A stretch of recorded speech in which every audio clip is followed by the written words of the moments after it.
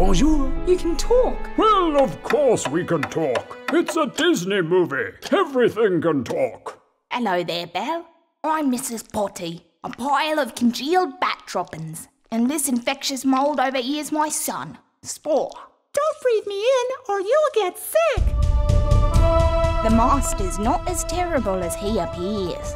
Once you get past his propensity for eating young girls, he's really quite a lady killer. What happens when the last petal falls? The master remains a beast forever. And we become antiques. So, because he was a jerk to some old gypsy, she's cursed all of his innocent servants to spend an eternity on the roadshow? Zut alors, she's right. We are the most tragic characters in all of Disney.